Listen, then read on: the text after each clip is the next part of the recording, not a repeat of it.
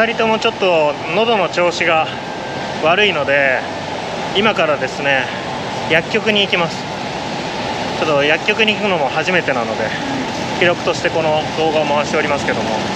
あの日本人向けのね薬局があるらしいです。なのでそこに行ってえっ、ー、と喉の痛みに効くやつをもらおうかなと思います。さきちゃんは生まれつき扁桃腺がでかくてあの喉痛めやすいんですよ。そうすぐにガラガラになる。そう日本にいる時もよく痛めてたんですけど。アスカ3回やったら喉ガラガラになる。アスカ3回 なんか調べたところによるとタイの薬はすごい効き目がいいらしくて、うん、で安いらしいんですよね。日本よりも圧倒的に、で大体こっちにいる人はまず薬局に駆け込むらしいです、うん、病院よりも。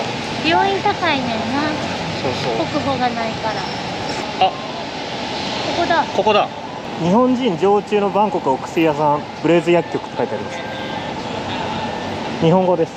オンラインショップ始めます。オンラインショップ始めてる。ちょっとここでお薬買いたいと思います。ち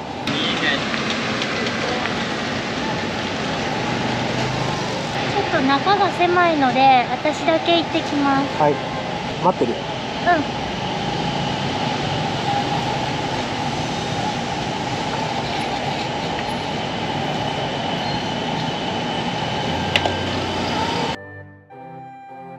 薬局入ってから20分ぐらい経つけど全然出てこないですね。一体何が起こってるんだ？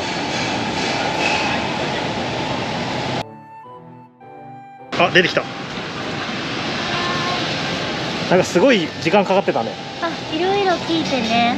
日本人の男性が聞いてくれて症状で薬剤師さんのタイ人の人に症状を伝えてくれてで2人で薬を選んでくれた。リア君の分もあの同じような症状ですって伝えたら量もちょっと多めにもらって。えー、うわすごいよ。すごいいっぱい買ってる。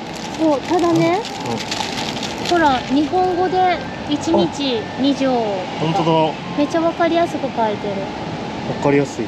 そう最初説明される時に忘れちゃいそうやからあの音声だけ取らせてもらっていいですかって言ったらあ日本語で説明書きあるんで大丈夫ですよって。でトニーがあの栄養がね取れてるか心配やからっていう相談もしてんや。そしたらなんか子供用のビタミンなんか水にさじをさじ1杯分を1日飲ますとビタミン C 取れるっていうようなこういうのもおすすめしてもらった、えー、ありがたいそう来たばっかりはみんな体調崩すって言ってて。ああめちゃくちゃ優しい人やった。めっちゃ良かった。ああよかった。一安心だね。一安心。なんか久しぶりに日本人の人と喋った気がする。確かにな。全然喋ってないもんな俺は。このねこういう危険危険というか大変な時にさ助けてくれる日本語でさ、うん、日本人の人がいるってめっちゃ安心やな、うんうん。よかったよかった、うん、よかったです。あれから一日が経ちました。はい。体調どうですか？体調ねなんか効いてる気がする。ああ。うん。なんか薬が合ってる。合ってるというか。よかった。今飲んでるのはこれはねなんか鎮痛剤やから、うん、もうめちゃくちゃ喉痛い時にしか飲まへんくてあとはなんか喉をこうすっきりさせるというか意外顔。あ間違えた。こっちか。あこっちや。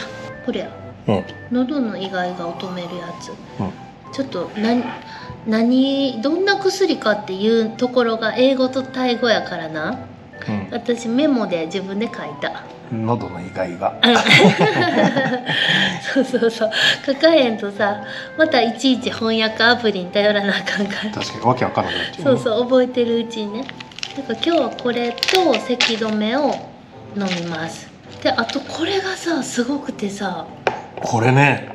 これめっちゃいいね。あの栄養不足を補うビタミン A と D があの補えるなんていうタブレット。うんうん、で水にポトンってやったらシュワシュワって言ってジュースになるんやけどなんかタイでねどれ食べたら栄養あるかまだ分からんやんか、うん、だからそしたら薬局の薬剤さんがまあ、こういうので補うのいいですよって勧めてくれた。コンビニにもこういうサプリメント系、うん。日本より売ってたわ。あそうなんや。なんか結構あった。へえ。もしかしたらタイの人ってそういうので補ってんのかな。そうなのかな。ねえタイ料理でどうどういうふうにみんな野菜取ってるかっていうのがまだな。うん。分からんから。なんていう名前なんだ？なんやろ。バロッコか。ベロベロッカかな。ベロベロッカベロッカ。レベッカ。どこで？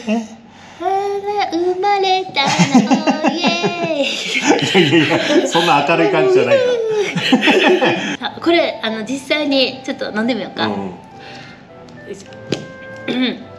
うなんかあのカプセルコーポレーションでこう彷彿とさせるね。うん、ホイポイカプセルを彷彿とさせる。あちょっとゴミこれがねほらなんかさラムネみたいやねんやんうん。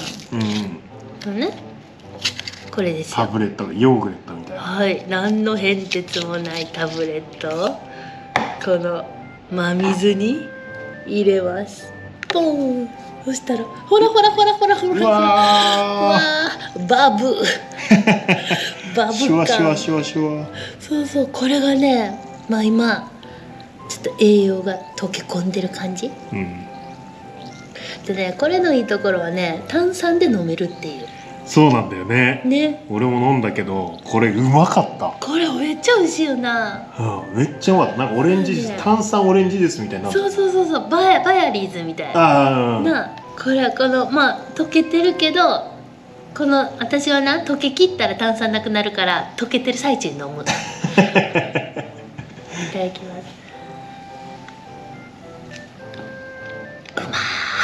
これうまくてマジでさ、うん。本当なんか一日の最後の楽しみみたいああるね。な感じでね。うん。あとこの栄養取れてるっていう安心感。ああわかるわかる 薬局で勧められたからほんまやっていう。スーパーで自分で買ったんじゃなく。そこの信頼感ね。そこの信頼感。そうこれがねほらどんどん濃くなってきてさもうなんか果汁100%ぐらいの色すんのよ。うまいよね。うまいのよ絶対おしっこ黄色くなるやつよね。真っ黄色なのよ。笑えるほど黄色いよな絵の具っていう。でね一番気になるのがトニーの健康なんですけど、うん。これ子供もいけますかって言ったらこれはダメみたいなんですよ、栄養価が高すぎるのかな。なんかな。で3歳やからまだダメって言われたから、うん。もうちょっと大きくなったらいけるかもしれへんけど、うん。で3歳やったらこっちこっちを勧められた。栄養ドリンク。うーんとねシロップやね。ほらわかるかな？もうとろっとした。はいはいはい。